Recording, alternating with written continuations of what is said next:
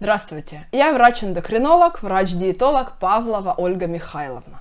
Сегодня мы поговорим о том, как убрать отеки.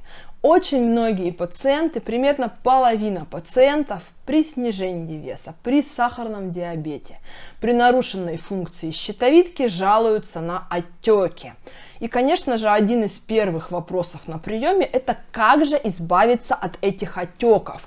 Будь то отеки лица, которые нас беспокоят каждый день, будь то отеки ног, рук, брюшной стенки, а бывает и отечность всего тела, которая выглядит так, как будто бы человек просто избыточный вес имеет. Это могут быть отеки. Для того, чтобы говорить о том, как убрать отеки, нам сначала нужно разобраться, какие же основные причины отеков. Первая и наиболее частая причина отеков – это нарушенная функция щитовидной железы гипотиреоз.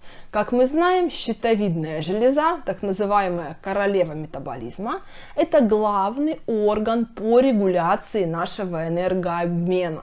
То есть количество энергии, скорость мышления, наше настроение, скорость метаболизма – наша активность, либидо и, конечно же, водный обмен – это все то, что подконтрольно нашей щитовидной железе.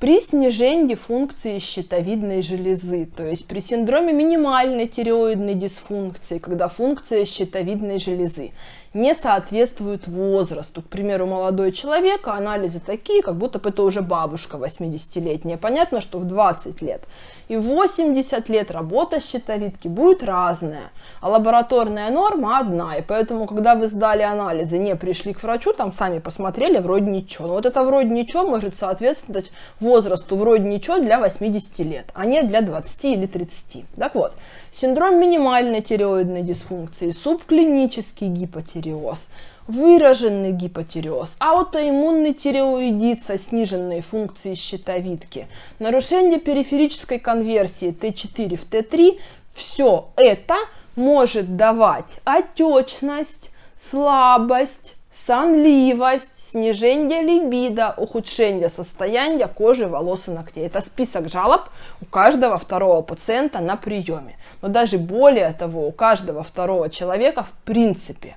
И если мы видим нарушенную функцию щитовидки по клиническим проявлениям, по анализам ТТГ, ТТ4, Т3, реверсивный Т3, то мы, конечно же, восстанавливаем функцию щитовидки. Тогда отеки уходят очень-очень быстро.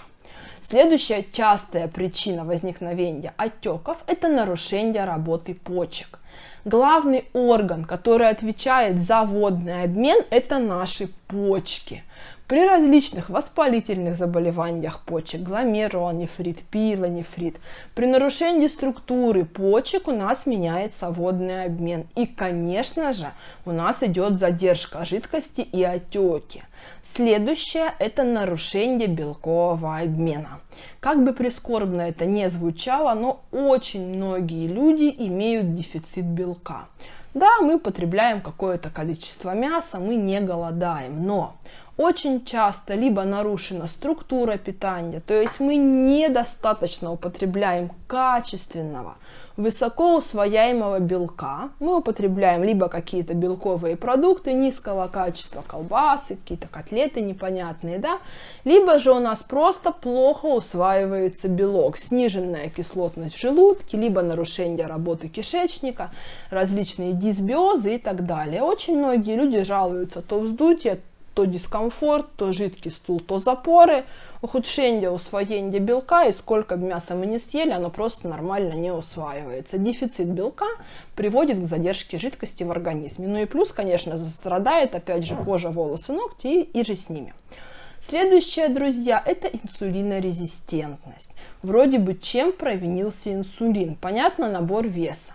Понятно, риски развития диабета, там темный акантоз, да, изменение цвета кожи в складках и так далее. Но почему же водный обмен? Потому что инсулин влияет на ренин, ангиотензин, систему почек. То есть инсулин, влияя на почки напрямую влияет на водный обмен. И именно поэтому при инсулинорезистентности идет набор не только жировой клетчатки, как говорят, человек растет как на дрожжах, да, при инсулинорезистентности, хотя вроде бы ест-то не так уж и много. А еще идет задержка жидкости. Когда мы правильную терапию инсулинорезистентности вводим, у нас первые уходят именно отеки. Наши ученики в школе лечения ожирения инсулинорезистентности часто пишут, доктор, я всего неделю соблюдаю вашу диету, у меня ушло 4 килограмма. Это вообще нормально или нет? Наверное, сильно быстро. Это просто ушли отеки, это нормально. Дальше идет более плавное снижение веса. То есть мы снижаем инсулин за счет диеты, за счет медикаментов, и у нас выходит жидкость. Это норма. Следующее, друзья, это избыток сладкого. Почему так? Потому что, во-первых, глюкоза сама по себе задерживает воду, это первое. И второе, избыток углеводов, то есть сладкого, рост инсулинорезистентности. Инсулинорезистентность, влияние на ренин, ангиотензин, альдостероновую систему, задержка жидкости. Прямая взаимосвязь. Следующее, друзья, это нарушенная функция надпочечников. Надпочечники не только кортизол вырабатывают, но еще и альдостерон, поэтому регуляция водного обмена, конечно же, идет. То есть это влияние не только на артериальное давление, но еще и на водный обмен в организме. Следующее – это избыток молочных продуктов. Почему? Потому что, во-первых, многие люди взрослые имеют непереносимость лактозы, молочного сахара, вздутие, жидкий стул и так далее. Многие люди имеют выраженную реакцию на белки молока, в частности на казеин. Соответственно, из-за этого попили, поели молочки, оттекли, какой-то дискомфорт в кишечнике и так далее. Кроме того, молочные продукты, в частности творог, имеют высокий инсулиновый индекс, то есть стимулируют выбросы инсулина и опять же рост инсулинорезистентность, задержка жидкости. И следующее, друзья, это простая причина, но которая встречается у многих, это банальное переедание соли.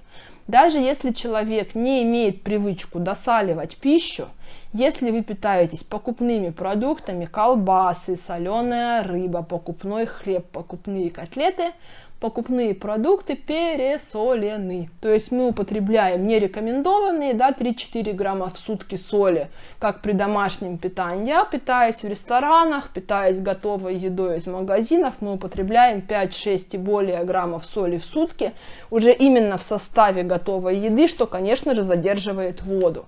Соответственно, как убрать отеки? Первое, мы выявляем причину отеков в вашем конкретном случае, то есть сдали анализы функцию щитовидки ТТГ, Т4, Т3, часто еще реверсивный, Т3 антитела, проверили инсулин, кортизол слюны да, по надпочечникам, проверили функцию почек, креатинин, СКФ, электролиты, проверили функцию печени, проверили белок, альбумин в крови, Посмотрели анализы, по анализам все видно, где проблема. Либо у вас белок низкий, либо у вас функция щитовидки возрасту не соответствует, либо у вас инсулин высокий. Назначаем лечение заболевания, которое вызвало отеки, то есть там инсулинорезистентность лечим, либо гипотиреоз, синдром минимальной тиреоидной дисфункции лечим, да, и, соответственно, плюсом к этому адекватный водный, водный режим, то есть жидкость ровно разносим в течение дня, убираем избыток соли, можем вводить мягкие мочегонные травки, там всякие укроп, канифрон, почечные сборы и же с ними вводим адекватную диету, да, без избытков соли, углеводов, богатую полноценным усвояемым белком, и, собственно, отеки уходят очень быстро. То есть, если вы выявили причину отеков, и плюсом ввели правильное питание, понемножку движения, да, кровообращение, лимфообращение выравниваем, но одна-две недели у вас отеки ушли. То есть убрать отеки, зная их причину быстро – не зная причину отеков, работая вслепую, ну знаете, если ходить в темной комнате, в темной повязке, понятно, что будет много шишек, но то же самое и с терапией. Хотите правильно подобрать терапию, сдаете анализы, приходите к грамотному врачу, который правильно прочитает ваши все анализы, подбираете терапию, все, у вас эффект достаточно быстро.